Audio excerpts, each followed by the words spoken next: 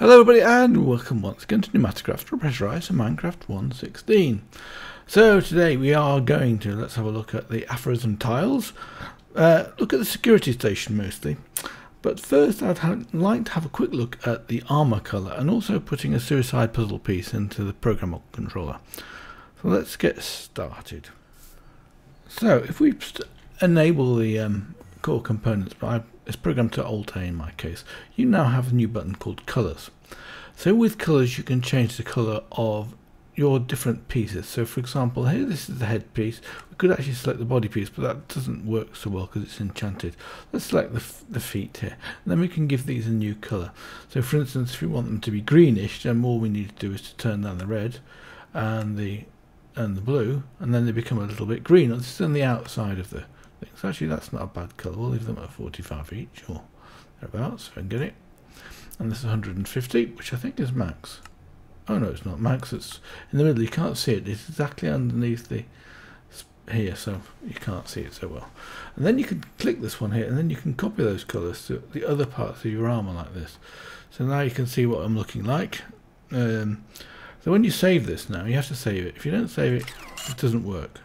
So you can then have a look at yourself and you've got a nice green tinge to the outside part of the armour. There's two parts, the inside and the outside, and the lens. That was the other one of those. So let's have a look at the lens again. So at the moment I've got it set up to being blue, but of course let make it, let's make it sort of purpley. So blue and red, yes. That's actually magenta. Let's have a look at that one, save that.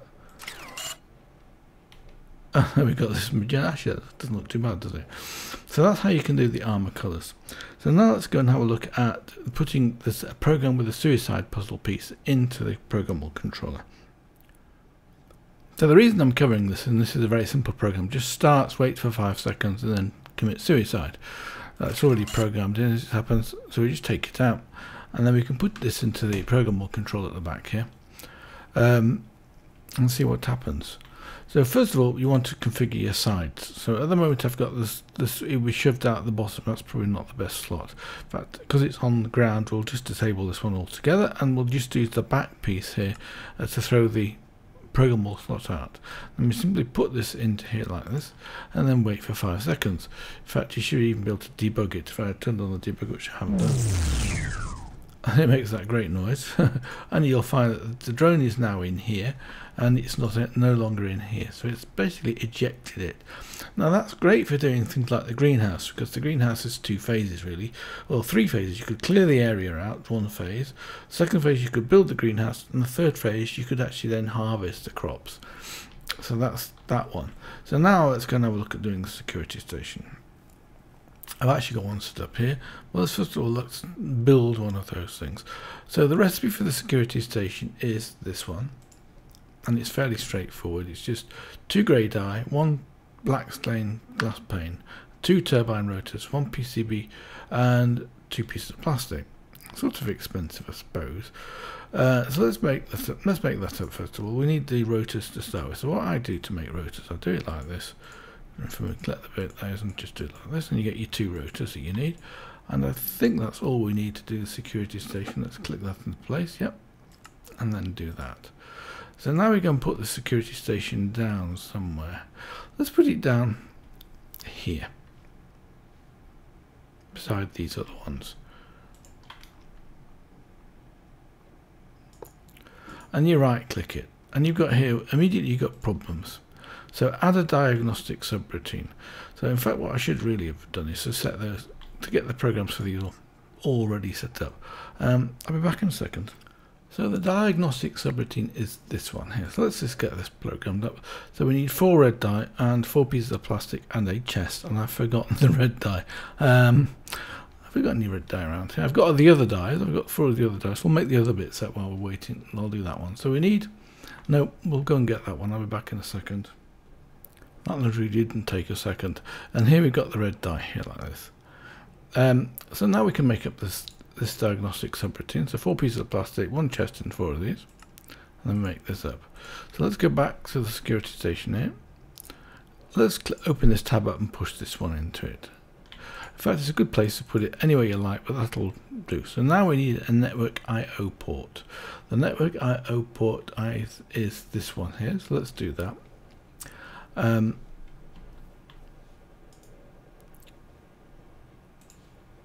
so we need four capacitors, four SI and a chest again. So we'll that one very straightforward. Put that into here. Now this is generally the, as it's telling me, required for a security station. This is the entry point for hack attacks. Um, so we're going to put this, let's open this tab up so we put it in and see what happens then. So it says add a network registry. Now the network registry is this one here, which is lime dye plastic and a chest, almost identical to the uh, IO port, wrong, wrong place. Try again.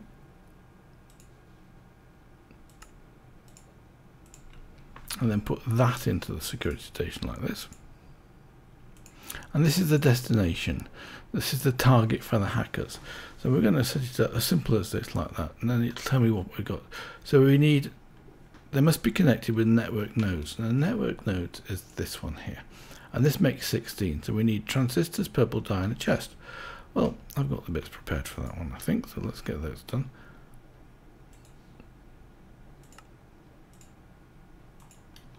So then you need to connect these together. And all you have to do to connect them together is like that. And that would then connect these together. So there we have a test, and we can then test whether or not this works. So we start here, and we left click this one to start the hack. And then when that's reached this one here, we then right click it to fortify it, and then select this one. Huh. And my hack failed. As you see, I didn't succeed in hacking this at all. So there we are. That was that done. Of course. So let's try that again. Um, Let's test this again. So I think I have to be quicker this time. So let's just try clicking this one here like this. Fortifying it and clicking the next one down here. And that's done. Hack successful. So we've we've successfully hacked this. So the risk the risk is here is 30%. So that works. Now you can actually make this a lot stronger by putting in different upgrades into it. So we can put an entity tracker in here. So for example, if we look at the status here, so the intruder detection chance is 30% and the coverage is 5 square meters. Uh, and it says the system is secure. Well, it's not very secure because we, we hacked it in the second attempt. So let's actually let's let's come out of here now. Uh, it's night time. I'll have a quick sleep, and we'll do this with a different user. So I'll see you in a few seconds as my other user. So here I am as my other user. Uh, let's put the security helmet, the pneumatic helmet on. You need a pneumatic helmet on to be able to hack anything. Now, I haven't got any upgrades on this, so it takes a reasonable amount of time, and I haven't got the, the other armor on, so I'm very slow. In fact, it's sort of makes quite a difference when you got used to the speed upgrades of the other one. You get quite confused about it.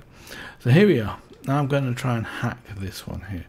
I need to make sure I've got decent health. I'm going to feed myself with some cod 'n' chips, which I stole from the other user.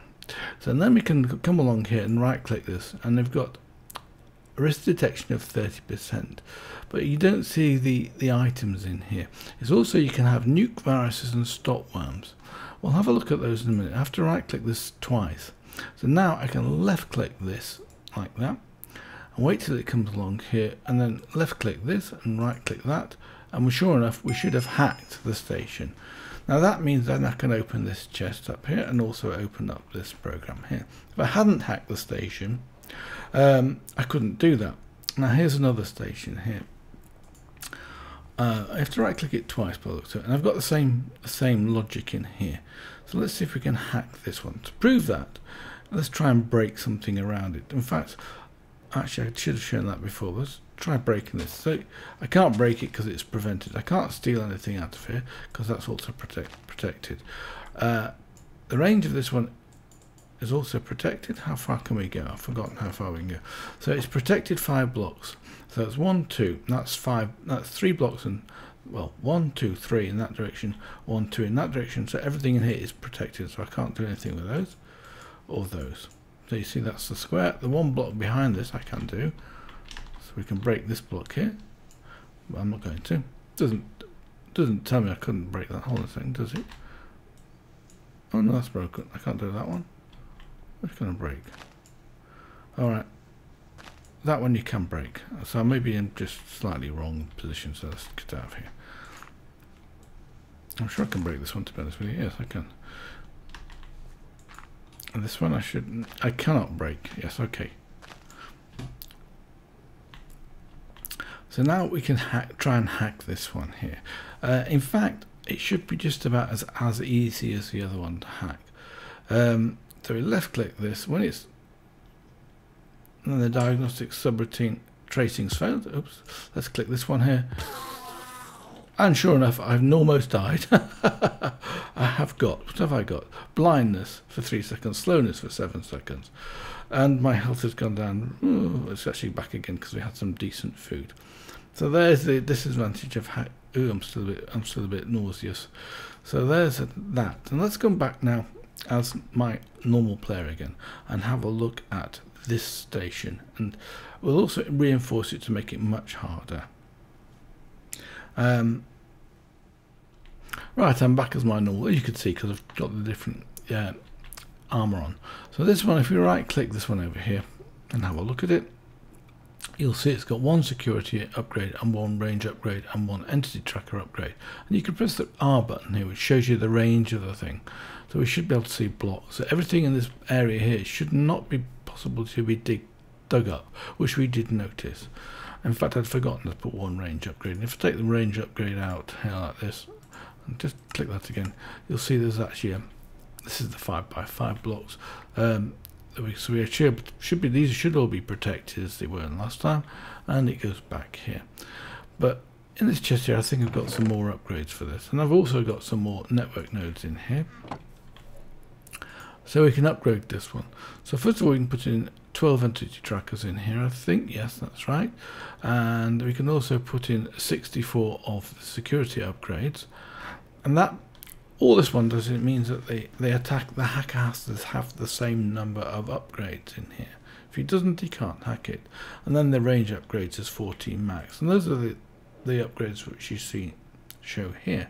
So if we now have a look at the status of this, the security level is level 64.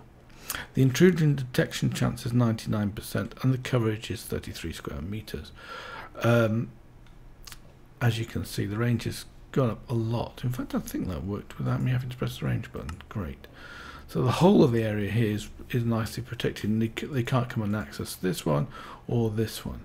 Let's have a look at this one here. You'll see this one should be telling me it's got a red state. Yes, that's right. It's got a problem. One or more individuals has hacked this security station. You can bypass the problem by rebooting the security station as soon as possible. Okay. In fact, I think it should tell me who's. Does it tell me who's intruding? No, it doesn't. So we can add trusted players in here. So I could add the player I was just put in before that hacked it, like that. And spell it right, of course I think that I let's just add them and then so they're now active I'm not sure what the crown means on this piece here but uh, so that when oh you probably can delete this one because you're now highlighted and this one they can't attack they've basically got nobody the only person is me yeah I guess you can delete them too. I'm not sure how you do that, to be honest with you. We'll, we'll find out in a second. So redstone behavior is also something you can do. Emit a redstone when hacked or done rebooting. So it means it's safe. So normally what you do is you put in some, I guess you put in a, a light or something when it's got redstone in it. So have I got any redstone around here? No, I don't think I have actually. I'll be honest with you. I'll just go and get some redstone and be back in a second. Okay, I've got some redstone dust. Let's change this one as oh, well. Let's change this one again, also to be when hacked, and put down a redstone here, and you should see this is lit up. And this one over here is not lit up because it hasn't been hacked. Oh, has it been hacked?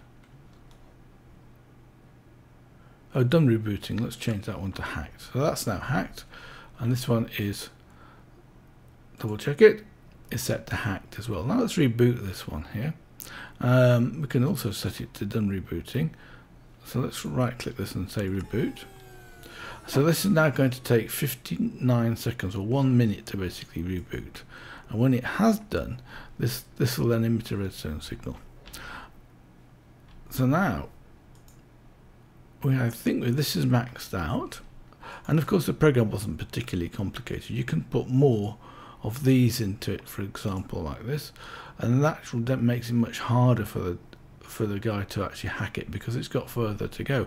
And there's more chance of the diagnostics um, doing that so let's have a look at how this works so now we've got this one set up with a trusted user and this one not so I'm going to come out and come back in again in a second or with the other player right I'm back as the uh, other player it's funny it's actually quite hard to do as it happens but there we are. I want to get some more food. Let's just go and pinch one of these out of here. Let's have some salmon tempura now, because I obviously need it after that uh, very near death experience. Get my health back up to maximum level. So here we go. This time, I try and do that. I haven't got enough security upgrades. It also took a hit.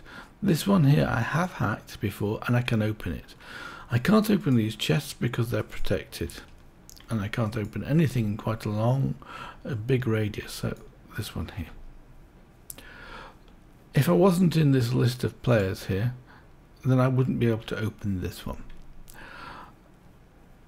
So now, let's have a look at this. I need to get some more security upgrades, and I don't think I've got any down here. So let's just go and put some more security upgrades into the helmet. They're not too expensive, but they do cost a little bit in terms of um, gold. Now, of course, I've got plenty of gold. Um, and, a, and a couple of stacks of lapis. In fact, I think you need one stack of lapis, which has gone through the upgrade matrix. In here, I've got 64 security upgrades. The recipe for these, by the way, just in case, just to be completeness, so you need, uh, you'll need 64 of these. So you need four stacks of obsidian and four stacks of lapis lazuli upgrade matrices, and one stack of these safety tubes. The safety tubes are um, levers, that's not a big deal. Uh, pressure tubes, you'll need one stack of those, so you'll need eight times. And these ones here, you need this. So you need four stacks of gold and one stack of compressed iron to get these. Let's go now put these into my helmet and have a look at hacking that other one.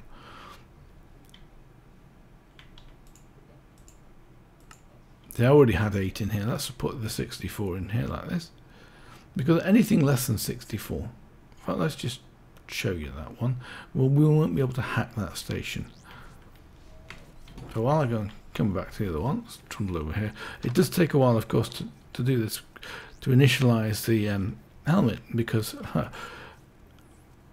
haven't got any speed upgrades in this helmet now we've got 63 here but we don't know how many we need to actually hack this thing so we try hacking that again nothing happens. So you know you've got 64 to go. Let's just go and put the 64th one in here. We can do it anywhere we like. Uh, let's put the helmet into this one. Okay, now I should be able to hack this, or start to hack this security station over here. Alright, try again. the, it, detection risk is now 99%. It tells me that. I have to right click it twice. And to get past these things, we'll need some nuke viruses or some stop worms. So let's go and get some of those. I do have some. Um, you can trade with some villagers for those. Uh, there's a villager over the other side that was giving my other player one nuke virus for one emerald, which is a pretty decent return. Here we've got 12 and we've got some stop worms in here.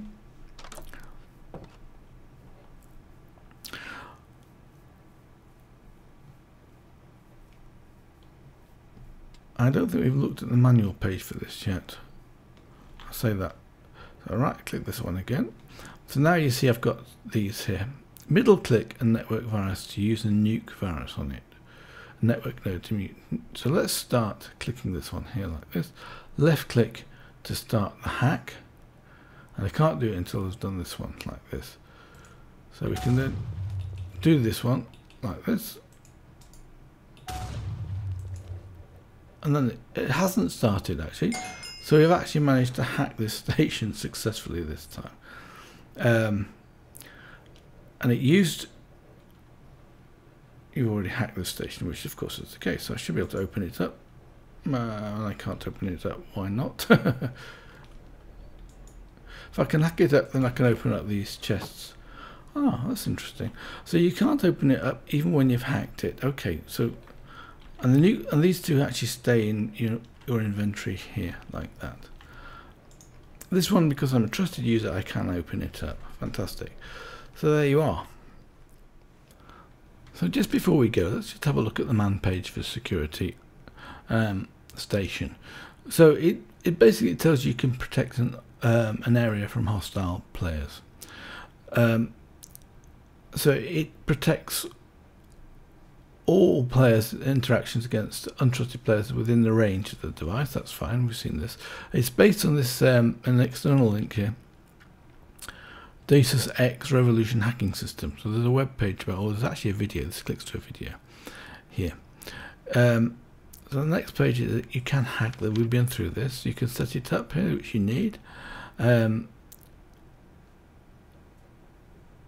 and it tells you about that, the diagnostic subroutines, the goal for the hacking point, or um, at the end of the IONet registry. So you want to make sure it's a decent way away. Then you've got the nuke virus and the stop worm. I didn't use the stop worm that because it didn't start tracing my attack attempt. And then upgrades, as you can see, you've got entity tracker, range tracker, and security upgrades, which you put into the helmet as you've seen it already. We've seen allowing friends, that's no thing special here, and getting hacked. Um, so basically you just reboot it once you get hacked and here's an example of that here. And you can you can right click it to fortify the node to make it strong when you've done it. So that was a, that's a typical sort of page. So you start out here and you have to go right up to this one here or this one, which makes it much more difficult than the simple setup that I used. And then tips. It says keep your security station well concealed and well protected. So you can um, protect there with multiple security stations. So they all must be hacked in order to get that one. Um, consider active defenses like drones or security turrets. A hacked security station can be made um, to emit a redstone signal and you can put additional measures like TNT under it. So I'm not going to do that. but that's the security station for you. Right, just before we go, there's something you can do and you can't do. Uh, in here you cannot, I've got a smart chest and here I've got a reinforced chest. You can't put a reinforced chest into a smart chest, but you can put a shulker box in here. So what you need to be careful about, you can put your shulker box down here and then you can put inside that your reinforced chest. And I think, if we break this now, pick it up again, we should be able to put this into here with the reinforced box inside it. But you've got to be careful. If you do that, it's highly likely you'll run, run out of NBT data and actually break the game completely, so you then have to delete it manually. So don't do that, whatever happens. Well, that's it for this episode. I hope you've enjoyed it. I also hope you've enjoyed the series because that's the last episode of this series. I've had a massive amount of fun playing this uh, with PneumaticCraft Repressurized. It's a great mod. So next time I'm going to be doing a new series and it'll be all the fabric. So until then, I wish you all the best. Bye for now.